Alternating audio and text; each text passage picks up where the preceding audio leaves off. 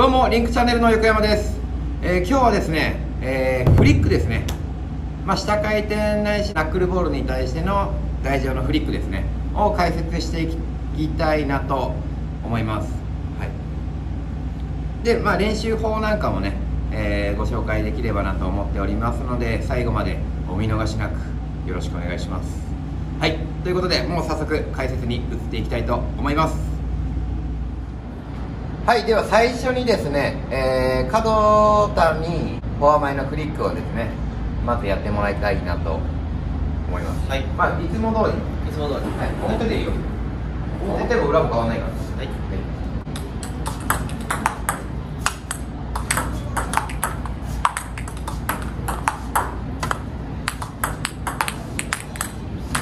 オッケーはいはい、ということで、えー、と今角田の方に、えーフォアのフリックをやってもらったんですけど、はい。えーフォアのフリックは、えー今の角田のようにですねもうフリックする前からフリックしますよっていうのが相手に情報を伝えてしまったりですね。あとはちょっとこすりやすい。コスでフリックをする。はい。やり方、もうないわけではない、ないわけではないんですが、えーおすすめではない。おすすめではおすすめではない。万能。ああバではッ安定はしない。安定しにくい。うん。でまた回転系のフリックは明日ですね。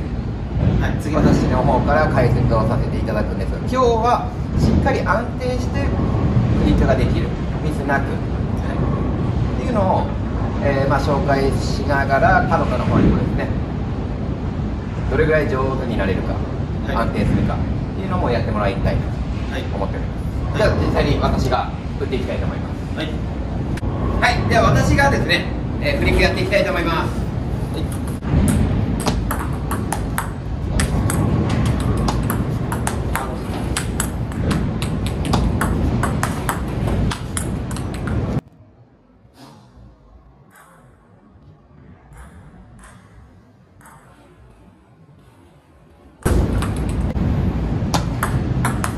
はいということでですね、えー、と今私がフリックをしたのですが、えー先ほど角田がやったフリックと真逆ですね。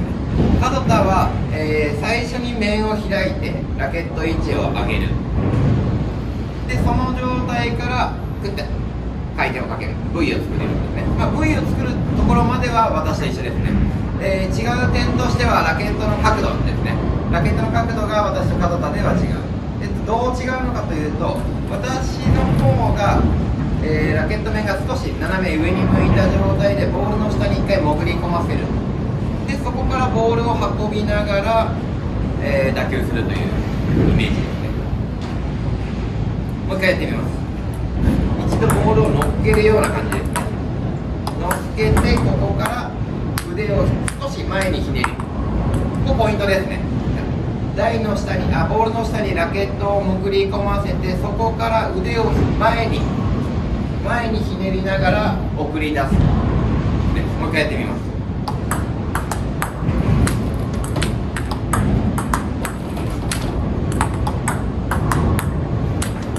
で、えーこのフリックの使い道としては主にダブルスのレシーブであったり、まあ、シングルスでもですね、えー構えていてフォア前に出されたらここからバックにフリックももちろんできます。でこのフリックのいいところは打つ前に何をするか分かりにくいっていうことですなので打つ前にこのままストップ。このまま続き。でこのままあ払える。急にポンって払う。っていう相手にまず情報を与えすぎない。打つ前に何をするかわからない状態にしてからそこから払う。でその払う時は腕をひねりながら前にですね前にひねってあげる。もう一回いきます。まあボールの下に一瞬打つ前に一回潜り込ませる。この時のラケットの角度は斜め上に向いていいです。このまま当てると頭突きになるような感じです。この形からボールの打ちたい瞬間にひねりながら前に飛ばしてあげる。この状態から前にひねるでこれ上手になってくれば慣れてくればひねる瞬間に力を加えてボールを弾き出す。ので速いクリックもできなくないです。ねさっきカロタがやった最初から面を立って上から下。は、まあ、相手に情報を与えすぎてしまうっていうこととあと少し切れてると上がらなくなります。こすり返そうと思うとこう手が落ちてしまう。だから切れてれば切れてるほどボールの下に面をラケットを入れて送り込ませてから乗っけながらこうボールを運ぶようなイメージですね。で打ってください。あと打球点ですね。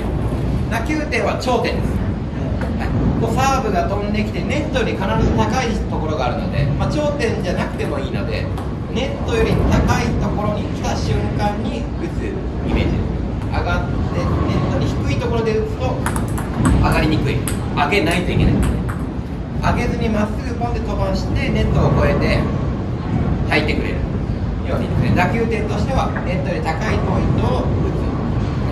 まあ、まあ、頂点を打てば一番いいのかなと思います。慣れてきたらいろんな打球点で、えー、できるように練習してみてください、はい、でこのこのフリックの練習法なんですがまずそれを先に説明してでそれを加藤さんにやってもらって最終的に実際できるようになったかどうかねちょっとやってもらいたい。ちょっとボールをください。これ一人でできます。ボールをまずラケットの面ラケットに乗っけてください。でこの状態から前に送り出す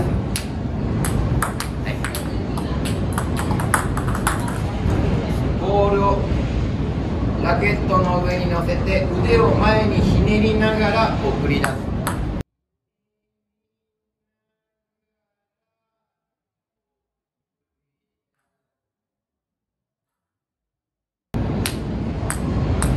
まあここからですね。でこれができるようになったら今度は自分の台になるべく手前にですねバウンドさせてあげてください。でここから乗っけてから運ぶ。でボールは全然速くなくていい。ですドーンっていう少し山なりのボールを打つようなイメージ。のっけて運ぶあとこの山を徐々に徐々に低くしていく少しずつ前にしていく乗っけながら前に乗っけながら前にちょっとこれやってみようまずはラケットの上にボールを乗せてそこから打ちたい方向にそうねで今こっち行きましたね、はい、っていうことは閉じてしまった。このクリックは面を閉じない。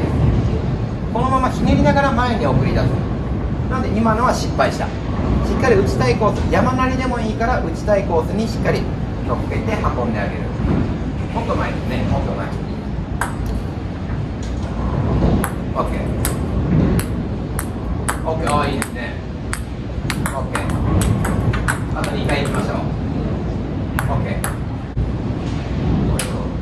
まあでもイメージ的にはね、はい、で今度はじゃあ自分の台になまあちょっと低い方がいいかなあんまり高すぎると現実的ではないので、うん、もうちょっとも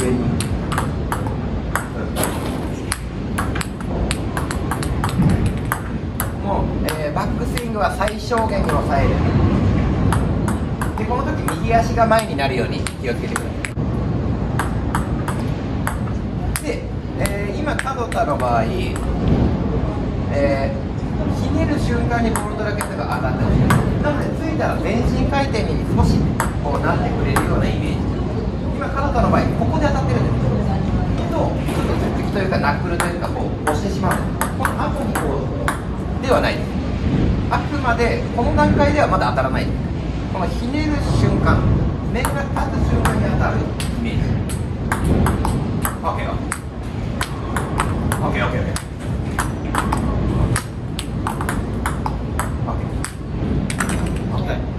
でその感覚を持ったまま、えー、レシーブいきましょう。で最初パンと速くなくていい、はい、ゆっくりゆっくりポン補線を少し描くようなボールの飛ばし方を意識して乗っけてからで今飛びすぎてるこれ上に打てば本来短くなる。飛びすぎるっていうことはボールの下を触りすぎて。るでひねりながら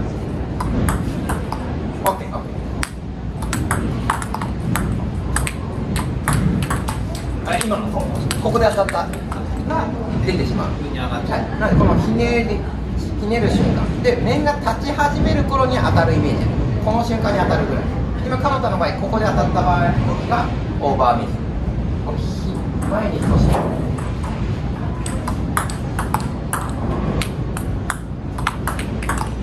手首をひねるというよりかこう前腕肘から手首までのこの前腕をグッてひねってあげるようにまあそれが結果的に手首にはなるんですけど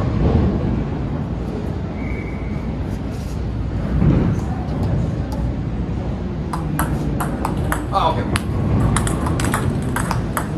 あと卓球って早すぎますね。ちょっと一番高いところ。で最後、最後、えっ、と直前までフリックをするかつっつきをするかは、えー僕が言います。はい、サーブを出した時点でつっつき、フリックっていうので言ったことをやってください。つっつき。フリック。フリック。そう今のはそう引きの認証だ。つっつきストップ。フリック。オッケーオッケーフリック。あちょっと。大きいかなストップ。そうね。で今そう払おうとして体は。でストップって言われたからギュッ。で出てしまった。だからもうストップに合わせるぐらい。ストップしようとしてここから運ぶようにストップ。ストップ。フリック。で今のはちょっとまだ当たる。フリックポンストップ。つっつきフリックこの瞬間であ払えるポンこのバックスイングはほぼゼロでいい。ストップ。ああ最高いいぞフリック。あーオッケー。フリック。フリック。ストップ。ストップ。フリック。オッケーオッケー。こうすることによってだいぶトップが来るのかつっつきが来るのか、えー払いが来るのか。っていうのが相手にも分かりにくくなるし余分にバックスイングを引く必要がなくなるのでこれができるようになればですね。なんでフリック自体も安定する。んですね。なので順番としては乗っけて前に運び出す練習からしてあげる。で次に自分の台についてそれを言いながら前に運ぶ練習をしてで実際に出してもらってそれを、えー実際に打てるかどうかですね。最初は強くなくていい。ゆっくりでいいので右足を中に入れてゆっくり払う。これが慣れてきたら徐々にまあひねりを速くすればボールも速くなるっていうイメージひねりを速くすれば最後にですねこのフリックの注意点一番気をつけてほしいの。一番難しいポイントですね。こう角度を変える。面を上斜め上に向けた状態から前に向けながら腕をひねりながら打球する。ということは角度がグって変わるんですね。なのでどこで当たっても入るわけではないです。入るポイントっていうのがもう限られてるんですね。この瞬間っていう、まあ、それは回転に応じた角度なんですけど、まあ、それを見つけないといけない。ここで当たっても入る。ここで当たっても入る。ここで当たっても入るっていうわけではないので自分でこれを練習しながら入る角度。あここら辺で当たれば安定して入るなっていう角度を見つけてください。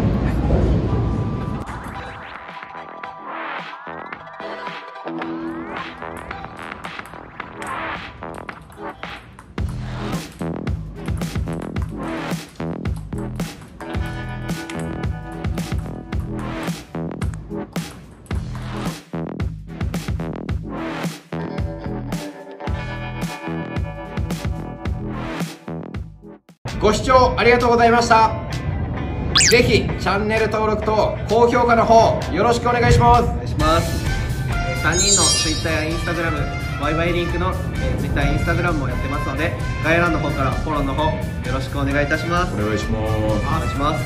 また次回の動画でお会いしましょう。それではさよなら